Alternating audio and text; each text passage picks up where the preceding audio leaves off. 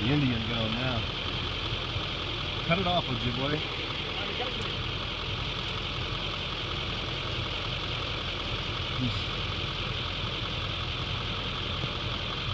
Oh man, don't touch that nasty thing.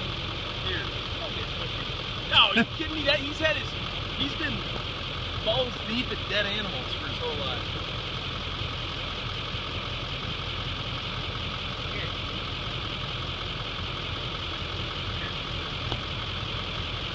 It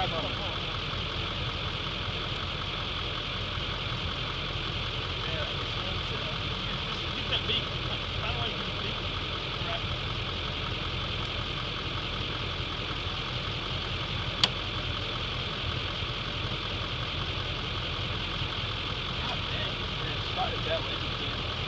you leave leverage that.